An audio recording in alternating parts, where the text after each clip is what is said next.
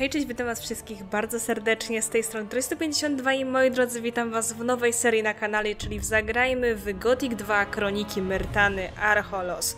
Moi drodzy, modyfikacja wyszła dosłownie 5 minut temu, Szybko mi się zainstalowała, więc lecimy, nie będziemy zbędnie czasu tracić. Zaczynamy nową grę, ogólnie modyfikacja jest podobno bardzo długa, na 60 godzin gry mniej więcej, także czeka nas długa, ale myślę, że przyjemna podróż i mamy też bardzo profesjonalny dubbing, także kurczę, nie mogę się doczekać. Lecimy, moi drodzy, po prostu.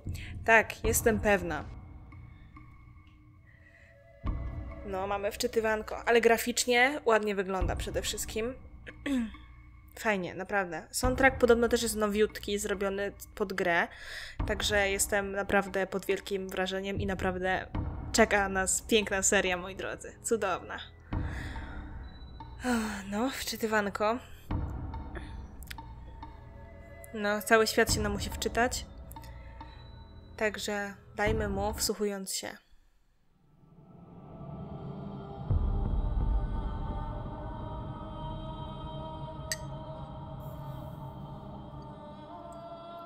Królestwo Myrtany zjednoczone pod berłem króla Robara II.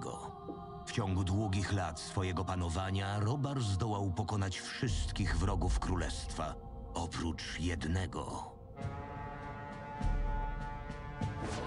Wojna z orkami była niezwykle kosztowna, a wróg działał szybko i bezwzględnie. Z powodu przedłużającej się wojny gospodarka Królestwa Myrtany pogrążała się w coraz większym kryzysie. Rozwiązaniem tego problemu miało się okazać zwiększenie kontyngentu górników na wyspie Korinis. Przestępców skazywano na przymusowe roboty w otwartym więzieniu, nazywanym potocznie Górniczą Doliną. Tymczasem, aby przerwać aktualny impas na froncie, król wysłał całą potęgę swojej morskiej floty, chcąc jednym sprawnym uderzeniem uniemożliwić podbój niezwykle istotnych wysp wschodniego archipelagu. Niestety, admirałowie królewscy źle ocenili sytuację, a orkowie okazali się równie sprawnymi wojownikami na morzu, jak i na lądzie. Flota Myrtany w ciągu kilku godzin wylądowała na dnie oceanu, a cenę tej porażki miała ponieść stolica regionu, pobliska wyspa Archolos. Chcąc zachować kontrolę nad regionem, król nakazał konfiskatę każdego statku mogącego przemieścić wojska na front, w tym całej floty gildii kupieckiej Araxos. A każdy zdolny do walki obywatel, niezależnie od stanu majątkowego, miał wkrótce zostać wcielony do armii. To wszystko jedynie zaogniło i tak bardzo napiętą sytuację na wyspie. Archolos zaczyna wrzeć od wewnętrznych konfliktów wynikających z dużego zróżnicowania mieszkańców, a z każdym dniem na wyspę docierają kolejne fale uchodźców. Tymczasem na małej wyspie Londram dwóch braci szykuje się do ucieczki na Archolos. Gothic 2 Kroniki Myrtany Archolos. Zaczynamy, moi drodzy. Ale mam ciary, nie? Co jest w ogóle? Kurczę, niemożliwe.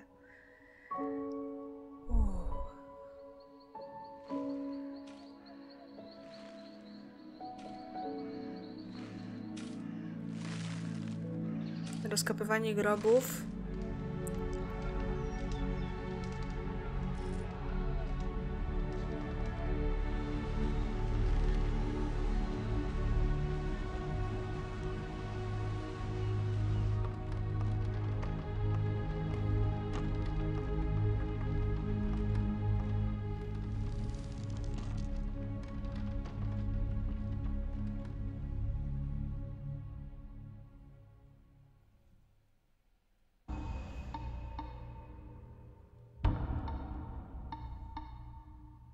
Okej, okay, mamy doczytywanie jakieś.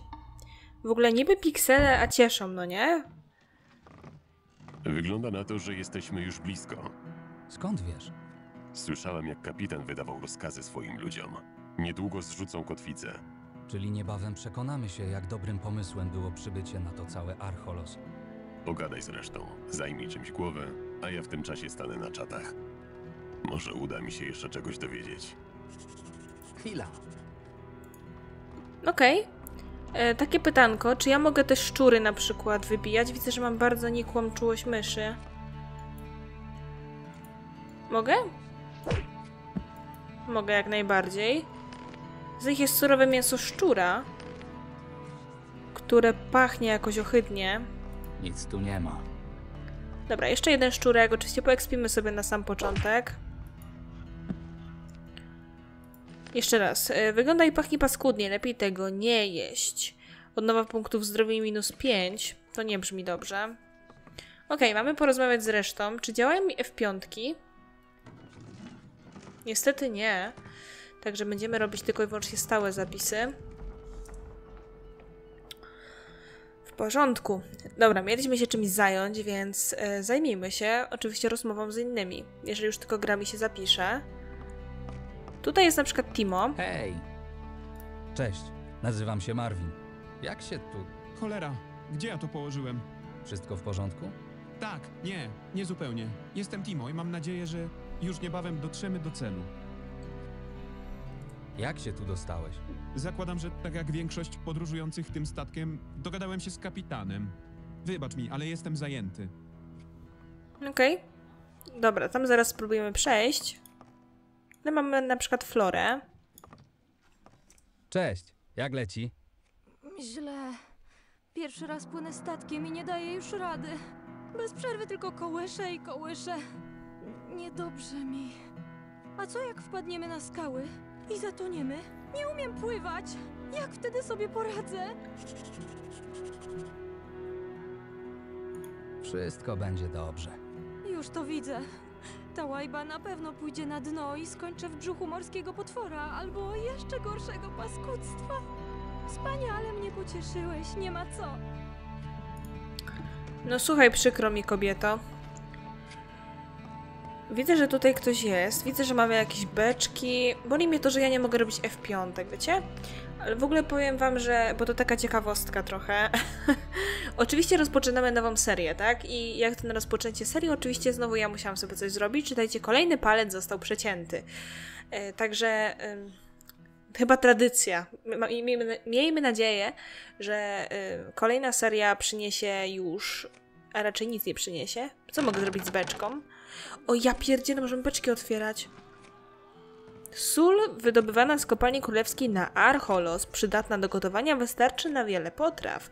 I ryba, składnik gotowych, e, gotowanych potraw. Jeden z podstawowych składników diety mieszkańców wschodniego archipelagu. Dobra, zbieramy wszystko. W ogóle te szczurki są urocze, one są takie ładne, takie malutkie. Ryba, oczywiście torebka pieprzu, torba przyprawy o mocnym zapachu, przydatna do gotowania, wystarczy na wiele potraw. Okej, fajnie. E, dobra, kolejny nasz szczurek. Jeszcze mamy skrzynię. Chciałabym z tego szczura co nieco zebrać, bo wydaje mi się, że mimo wszystko jak to upieczemy na przykład, to będzie już dobrze. Mogę spróbować? Usmaż mięso. Surowe mięso szczura. Wszystko.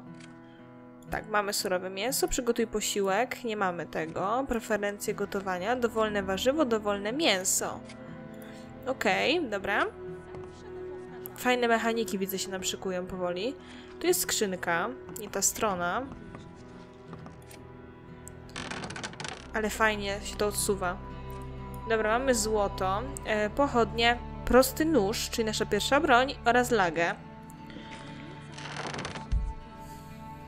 Dobra, prosty nóż, wykorzystywany do pracy łuczarskiej, obrażenia sieczne, wymagana zręczność 10, penetracja pancerza 5, broń jednoręczna.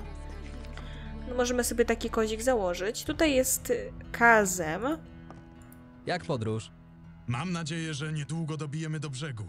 Jeszcze tak trochę potrzęsie, a zwrócę cały obiad. Nie jesteś stąd, prawda? Przybywam z Wysp Południowych. To kawał stąd. Czego szukasz na Archolos? To, co robię, to moja prywatna sprawa. Nie mam w zwyczaju żalić się obcym, dlatego wolałbym, żeby tak pozostało. Okej, w porządku. Rupert. Cześć, skąd płyniesz? Z Kornis. Pewnie dziwi cię, dlaczego opuściłem najbardziej bezpieczny region w królestwie, ale to długa historia. Oczywiście my znamy Ruperta z Gotika 2. Była tam taka postać. Mamy jeszcze trochę czasu, zanim dobijemy do brzegu. Prawdę mówiąc, to po prostu uciekam przed służbą. Ojciec chciał, żebym wstąpił do armii, bo według niego tylko w ten sposób stałbym się prawdziwym mężczyzną. Chciał, żeby mnie zwerbowali, bo jestem silny, ale wygląda na to, że nie jestem też głupi. Wiedziałem, że szykuje się coś niedobrego i proszę. Armia na kontynencie jest w pełnym odwrocie, a chluba królewskiej floty leży sobie na dnie morza. Kto wie, czy gadałbym teraz z tobą, gdyby kazali mi wyruszyć na front? Dobra. Od tego całego gadania zgłodniałem. Zgaduję, że nie masz przy sobie żadnego mięsa, co? Mam przy sobie kilka kawałków szczurzego mięsa. Ja mam to niby zjeść? Przecież to obrzydliwe. O, cholera. Od tak dawna nie jadłem mięsa. Ciągle tylko ten czerstwy chleb. Mam pewien pomysł.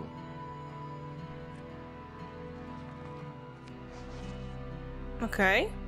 Masz tu prosty przepis. Spróbuj połączyć te wszystkie składniki na kuchence. Może wyjdzie z tego coś zjadliwego. Okej, widzę, że ciekawie mamy teraz. Mamy jakiś przepis. Przepis szczur na patyku. Mierny posiłek ze szczurzego mięsa, ale lepsze to niż głód. Rozumiem. E, składniki. Laga, okej, nie rozumiem. Sól, torebka pieprzu, dwa razy smażone mięso szczura. Właściwości przedmiotu. Mierny posiłek ze szczurzego mięsa, ale lepsze to niż głód. Odnowa punktów trafień 35, wartość 6. Okej, no mamy to akurat. Przygotuj posiłek. Szczur na patyku. Kurde, nawet widzimy jak to wygląda, ile mamy tych przedmiotów, a właściwości. A to ja sobie otworzyłam teraz postać, cholera wie jak. W ogóle nie sprawdziłam tego, nie? Dobra, mamy wytworzonego jednego szczura na patyku. Kurde, to jakiś, nie wiem, szczur na patyku mi się kojarzy z tym, e, z, ze Shrekiem, no nie? W sensie, ten Shrek sobie jedli szczury smażone nad ogniskiem. Mam twoje szaszłyki. Wolę nawet nie myśleć, z czego są zrobione. A sprawdźmy, jak smakują. Ty on normalnie je to. Smakują prawie jak ścierwojad. Z naciskiem na prawie. Tak czy inaczej, miło było wrzucić coś ciepłego na ząb. Nie mam nic cennego w ramach nagrody. Mogę dać ci jedynie jeden z moich autorskich przepisów. Miejmy nadzieję, że gdy już dotrzemy na Archolos, będziesz miał okazję go wypróbować. Okej, dostaliśmy przepis na kotlet grzybowy. Sprawdźmy go też od razu. Potrawa często zajadana przez biedniejsze partie społeczeństwa, którego, które nie stać na, na porządny kawałek mięsa. Odnowa punktów trafień 25, odnowa many 20. Wartość 5. Rozumiem. Składniki: dwa razy ciemny grzyb, torebka pieprzu, worek mąki, osełka tłuszczu. Właściwości przedmiotu: potrawa często zajadana, to już czytaliśmy. Odnowa wartość 12. Okej, fajnie. Tutaj już mamy też co nieco ogarnięte. Czy te beczki dało się otworzyć? Nie, niestety nie. Widzę, że tutaj naprawdę jest sporo ludzi. My robimy kolejny zapis, moi drodzy. Będzie dzisiaj dużo rozmów, ale naprawdę bardzo miłe dialogi dla uszu, to trzeba przyznać. Więc no. I troszeczkę expa, oczywiście na szczurach. Zapomniałam, że już mam broń teraz. Tutaj mamy warsztat i askę. Wygląda jak pirat. Jestem Marvin. A ty? A ja jestem waszym strażnikiem. Zejdź mi z oczu, zajęty jestem. Okej, widzę, że pan nas pilnuje, żebyśmy chyba stąd nie uciekli, żebyśmy nie weszli na pokład. Hej, kim jesteś? Nazywam się Urs. I byłoby lepiej, gdybyś zostawił mnie samego. Na pewno masz mnóstwo ciekawszych rzeczy do roboty od słuchania moich żalów. Co cię trapi? Powiedz mi, wierzysz w bogów? Wierzę w to, że każdy jest panem swojego losu. Cóż, zazdroszczę pewności. Nie każdy jednak ma ten przywilej. Na szczęście dla mnie przejrzałem na oczy. Przeżywasz kryzys wiary? Wiara to nic innego jak kłamstwo, powtarzane w kółko przez ludzi bojących się ciemności. Dziękuję za wysłuchanie. Miło czasami podzielić się z kimś swoimi troskami Trzymaj. To taki drobiazg jako upominek. Kto wie, może ci się kiedyś przyda. Ja już nie zamierzam bawić się magią. Otwieranie zamków, mamy czar. Super. No.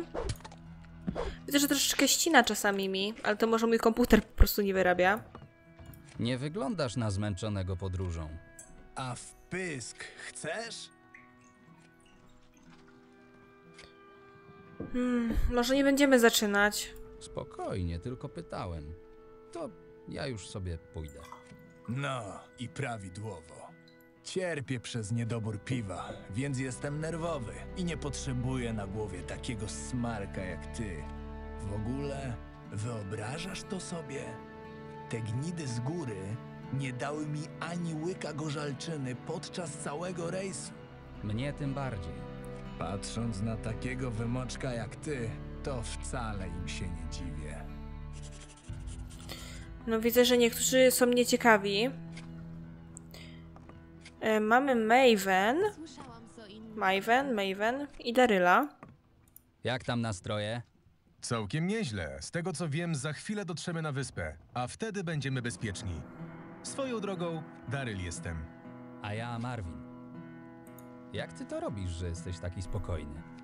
Cóż, jeśli los chciałby nas zabić, już dawno miałby ku temu wiele okazji. Najwyraźniej jednak wciąż nam sprzyja.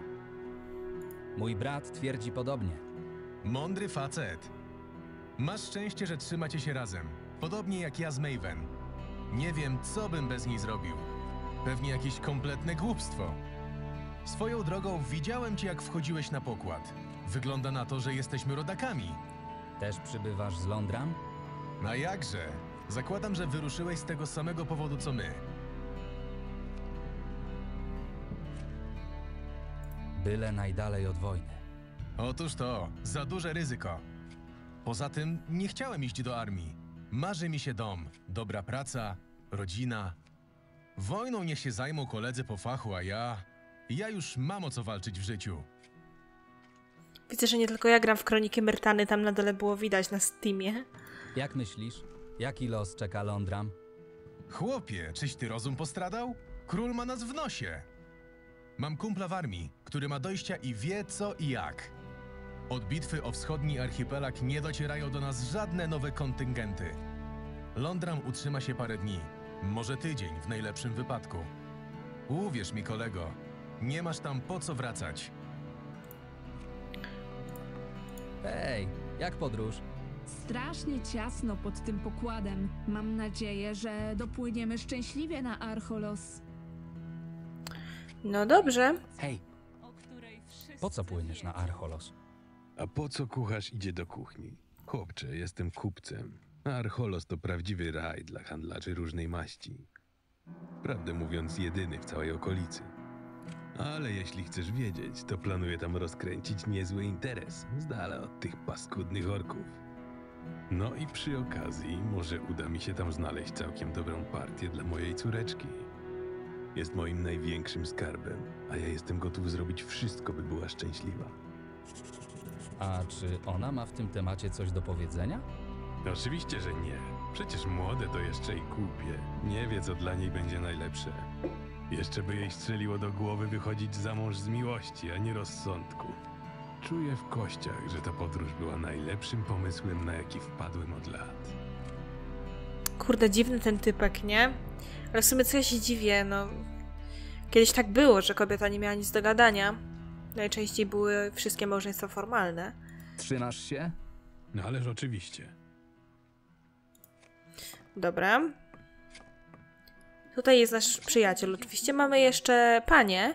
Jest na przykład Wrazga. Wrazka? Wrazka? Tak, tak, tak można powiedzieć? Wrazka? Witaj, kim jesteś? Przez lata ludzie nazywali mnie różnymi imionami. Jednak najbardziej upodobałam sobie imię Wraska. Brzmi egzotycznie. Pewnie dlatego, bo płynę z egzotycznego kraju. Skąd pochodzisz? Z dalekiej krainy, Marwinie, o której i tak pewnie nie słyszałeś. Chwila, skąd znasz moje imię? Z reguły jestem dobrą słuchaczką, a tu pod pokładem jest dość ciasno. Wydajesz się być miłym chłopakiem. Mam dla ciebie pewną propozycję. Widzisz tę gnidę, która struga sobie strzały? Ten dupek zabrał mi moją skrzyneczkę i ukrył ją jako swój własny łup. Widziałam, jak poszedł z nią w głąb ładowni. Myślałam, że schowa ją w kufrze, ale usłyszałam jedynie donośne skrzypanie desek. Mógłbyś rozejrzeć się, czy nie ma tam jakiejś skrytki? Sama bym to zrobiła, ale nie spuszcza mnie z oczu ani na moment. Dobra, oczywiście zrobimy dla niej zadanko. Hej, ty! Nie widzisz, że rozmawiamy? Nie widzisz, że jestem zajęta? Zostaw mnie w spokoju. Dobra, widzę, że panie nie chcą rozmawiać. My oczywiście nie wyjdziemy stąd. Natomiast możemy sprawdzić, y, czy faktycznie pod pokładem, znaczy, no, pod deskami jakimiś możemy coś znaleźć. Kurczę, te, czasami długo to zapisywanie trwa. W ładowni, tak? Czyli tutaj, tak jakby. A bardziej tutaj. Właśnie, tutaj jeszcze nie byłam. Pod pokładem. Tutaj jest chyba ładownia, coś tak czuję. No. Dobra, zbieramy. Zbadaj deski, tak. Piwo wyspiarskie, jasne, mętne piwo, które świetnie gasi pragnienie. Skóra szczura, trofeum wykorzystywane do wytwarzania wyposażenia. Drewniana skrzyneczka, własność wyrazki i 8 sztuk złota. Dobra, ten szczur już nie żyje, tutaj już niczego nie ma. Mamy kuferek. Zapomniałam, że ja nie mam F5. Fuck, man. Rozumiem, że zwój mi się przyda tutaj, tak? Kurde, no. Nie znam się na otwieraniu zamków. Ale rzeczywiście, że się przyda. Ale fajnie to działa. Ale zajebiście. Mamy wytrych, trzy pochodnie, strój marynarza, e, plus 5 do e, obuchów, ostrzałów, e, boże, obuchów, ostrzałów, obuchów, ostrzy i strzał oczywiście, złotko i trochę grogu pod pokładem. W ogóle mamy nowe wpisy w dzienniku. Ja w ogóle jeszcze nie zajrzałam do postaci.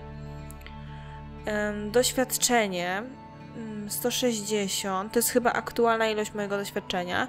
Poziom mamy, mamy 0. Rozdział jest pierwszy, ciekawe. Ochrony nie mamy na razie żadnej. Tak, e, standardowe chyba mamy statystyki, mi się wydaje. Jest coś nowego, na przykład pozyskiwanie zasobów. Nie mamy jakiejś też przynależności. Odnośnie dziennika, pod pokładem, tak, mamy sporo wpisów. Może sobie przeczytamy. Pomysł z dziennikiem nie był taki zły, przynajmniej mam czas zająć czymś głowę. Mam czym zająć głowę. Według Jorna, już niebawem dotrzemy na wyspę Archolos, oby jego plan z odnalezieniem wuja wypalił. Póki co może spróbuje poznać bliżej naszych towarzyszy podróży. Córka Ezekiela jest przerażona swoją pierwszą podróżą morską. Cóż, kiedy dotrzemy na Archolos, pewnie szybko się uspokoi. Rupert, chłopak, który przez całą podróż w ogóle się nie odzywał, ucieka na Archolos przed służbą w armii. Uważa się za rozsądnego człowieka, bo gdyby dał się zwerbować, pewnie zginąłby na froncie. Rupert poprosił mnie o zdobycie jakiegokolwiek mięsa, jednak piraci chowają wszystkie cenne towary poza naszym zasięgiem. Chyba nie mam wyboru i muszę zapolować na coś pod pokładem. Rupert dał mi przepis na szaszłyk ze szczura. Brzmi obrzydliwie, ale może będzie dało się to jakoś zjeść. Muszę przeczytać dokładną listę składników i przygotować wszystko na kuchence. Nieprzyjemny osiłek Fabio wydaje się być bardzo podirytowany, chyba lepiej go nie drażnić. Kupiec Ezekiel płynie na Archolos, by rozkręcać tam własny interes i wydać swoją córkę za mąż. Prawdę mówiąc, to zazdroszczę mu optymizmu. Jeden z piratów zabrał skrzynkę wrazki i ukrył ją w głębi ładowni. Usłyszała przy tym skrzypienie desek. Może pirat ma tam jakąś skrytkę? Mój urok osobisty chyba nie działa, bo nie każdy pod pokładem chce ze mną rozmawiać. Muszę nad nim popracować. Deski w tym miejscu wyjątkowo mocno skrzypią. Chyba znalazłem skrytkę pirata. W jednej ze skrzyń znalazłem grog. Może on przekona pirata, by powiedział mi coś ciekawego. Dobra, to się przydała ta informacja akurat, ale chodźmy najpierw do wrazki, oddać jej e, tą skrzyneczkę. Cześć Wraska. Nie mogę zajmować się wszystkim. Znalazłem twoją zgubę. Wspaniale! Pięknie ci dziękuję, chłopcze. W tym momencie nie mam jak ci zapłacić za twoją pomoc, ale obiecuję, gdy tylko dotrzemy na Archolos, upewnię się, by moi przyjaciele sowicie ci za to odpłacili. Okej, nowy wpis. Obiecałem wraz odzyskać skrzynkę. W zamian obiecała mi pomóc, e, pomoc od jej przyjaciół z Archolos, gdy tylko dotrzemy na wyspę. Może życie tutaj nie będzie takie złe. Ogólnie to w grze mamy naprawdę spory, wiecie, e, taki, spore takie zaplecze, w sensie naprawdę wszystko zależy od naszych decyzji, to, od tego, co powiemy, tak jak w prawdziwym życiu, no nie? Fajne to jest naprawdę, że wszystko od tego zależy tak naprawdę. I co, porozmawiamy może z piratem, spróbujmy. Hej! Może łyk grogu poprawi ci nastrój. Tego mi było trzeba, chłopcze. Widziałem, jak się przyglądasz, gdy robiłem strzały. Pewnie sam byś chciał spróbować, prawda? Najważniejsze w robieniu strzały jest dobre drewno. Jeśli czujesz, że patyk jest łamliwy, to wyrzuć go jeszcze na etapie strugania. Nic ci po ostrym grocie i wspaniałej lotce, gdy strzała pęknie podczas naciągania cięciwy. O, dzięki. Mógłbyś mi opowiedzieć coś o kapitanie? Chyba postradałeś zmysły, że o własnym kapitanie będę mówił pod pokładem. Życie mi jeszcze miłe. Jedyne co ci powiem, to żebyś z nim nie zadzierał. Może i wydaje się miły i skory do ugody, ale jeśli tylko coś mu się nie spodoba, to już po tobie. Dobra, fajnie wiedzieć. I co? E, został nam chyba już tylko nasz przyjaciel, prawda? Jorn. Coś nowego? Przez to szalejące może nic nie słyszę. Udało ci się poznać kogoś ciekawego? Powiedzmy. Cóż, jak to mówią, w kupie raźniej. Szkoda tylko, że poznałeś ich w takich warunkach. Wyspa musi być już w zasięgu wzroku, ale... Cicho. Słyszysz? Chyba ktoś idzie. Aha. No to chyba kapitan. Ale tupta. Ty, łysy! Tak, do ciebie mówię. Wyglądasz na kogoś, kto ma tam coś w łepetynie. Zgarnij resztę i jazda na pokład. Koniec trasy? A żebyś wiedział, tak się jakoś składa, że każdy rejs ma swój koniec.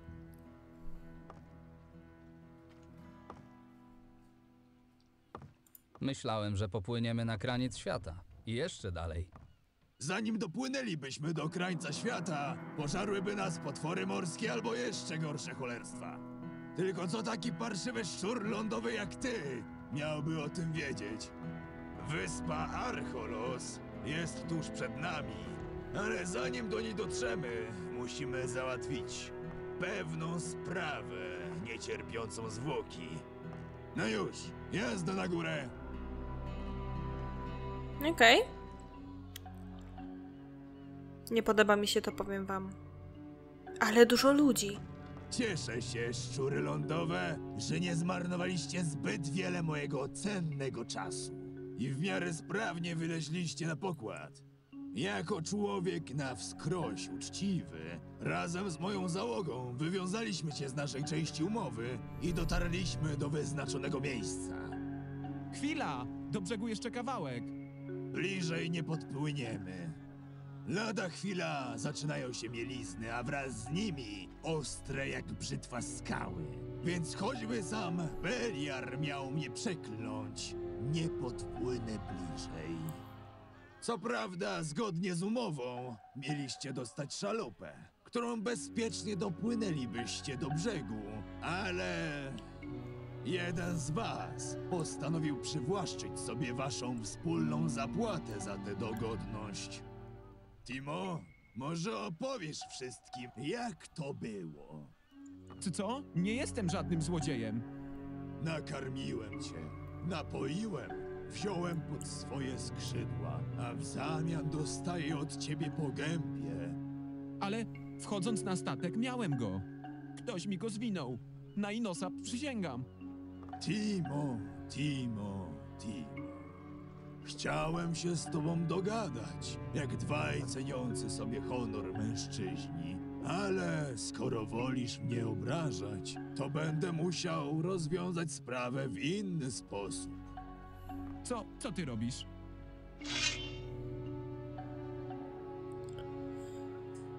Wydaje mi się, że nie powinniśmy niestety nic powiedzieć. To jest sytuacja, w której nie damy sobie rady i tylko wpędzimy innych w kłopoty, a jednak piraci to piraci.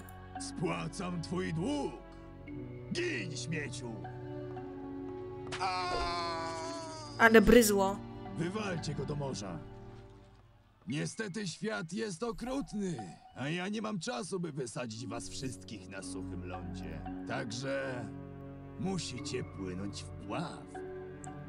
Okłamałeś nas. O nie, to wasz kolega nieboszczyk nie zapłacił za transport. Jestem człowiekiem interesu, a ten interes i tak od początku wydawał mi się mało opłacalny. Panowie, czyńcie honory. Miłej kąpieli, szczury lądowe.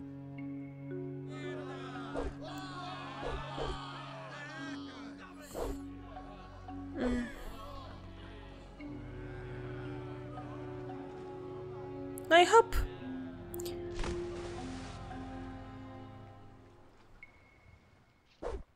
No to już wiemy, że na pewno jedna pani nie przeżyje, to ta córka tego kupca, bo ona nie umie pływać.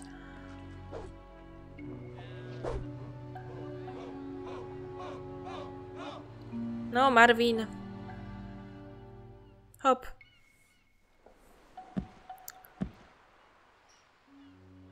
No, jesteśmy na brzegu. Niektórzy chyba nie dopłynęli tutaj żywi. Tak, mamy Jorna, który do nas macha. Jak my, moi drodzy, stoimy z czasem?